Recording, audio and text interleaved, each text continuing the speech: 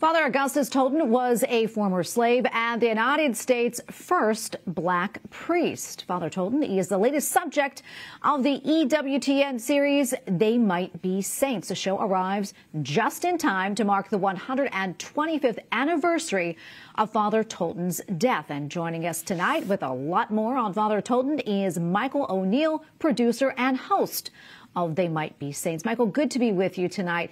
Uh, Father Tolton's childhood, as you know, was anything but ordinary. Uh, when the Civil War broke out back in 1861, his dad joined the Union, and then his mom took quite the journey of her own with three small children. Uh, tell us more about this. Yeah, I learned so much about the life of Father Augustus Tolton writing my book, They Might Be Saints, which matches up to the television series They Might Be Saints in the episode we did on Father Augustus Tolton. So, uh, Father Augustus Tolton, Gus as he was called uh, as a youngster, he grew up in Missouri and he was a slave. But his mother, Martha Jane, took him and his two siblings, and she crossed the Mississippi River uh, amidst the gunfire of Confederate soldiers. And arriving on the other side, they landed in Quincy, Illinois.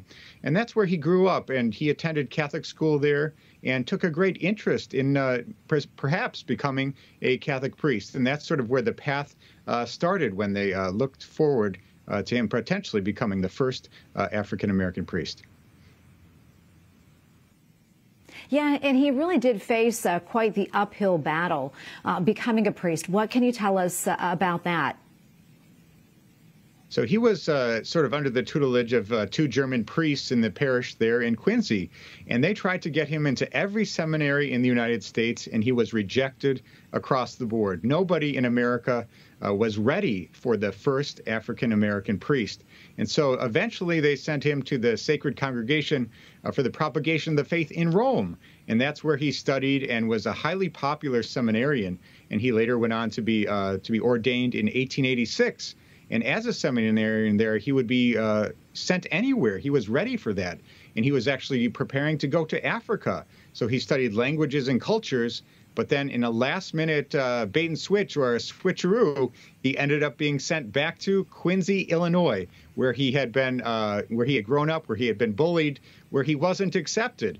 So he was brought back to perhaps the most difficult parish of all, uh, mission territory right back here in the United States. Wow. And, and, you know, as you mentioned, uh, the world that Father Tolton lived in back then really was filled with racism and a lot of division. Um, and now, more than a century later, we still sometimes see some of the same. Um, what do you think he has to teach us about overcoming and also about hope? So Father Tolton is a venerable. He's on the path to sainthood, meaning that his life of heroic virtue has been established by Rome. He's the most recently recent American to receive this honor in 2019. And so we know his life of virtue is fully established as being one who uh, had great faith, hope, and charity, love for those, even those who hated him and tortured him and persecuted him. So uh, he uh, he moved to Chicago after being in Quincy, and he served the poor and uh, traveled around the country, spreading the message of faith and hope and uh, love for everyone. And I think uh, he serves as a great example of uh, that we're all called to be saints, and uh, anybody can be a saint. And we're all praying that Father Augustus Tolton, with another miracle, will be uh, move on to the to the status of blessed in the Catholic Church.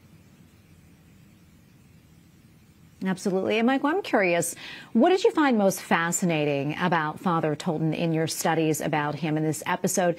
And also, could you tell us how he's still relevant today?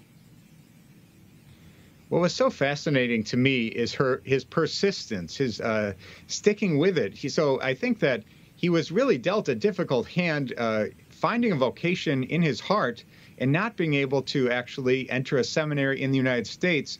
And I'm sure he was ready to move on from the United States, even though his family was here. But then coming right back to the place where he was, uh, where he had such difficulties, shows incredible fortitude. And then going to Chicago, and there were challenges there as well so uh, is incredible uh, just stick to itness and just uh, going through the process of becoming a priest and living that life of virtue and modeling that virtue. And I think that uh, even though he died in the 1800s, in 1897, we see him as a very modern saint because of all that's going on in our country with racial, racial division and otherwise. And I think that uh, he's a great person that we can uh, look to as a model, uh, as an intercessor, and uh, perhaps we'll see him as a saint someday soon. Absolutely. Michael, thank you so much for your time today. We really appreciate it.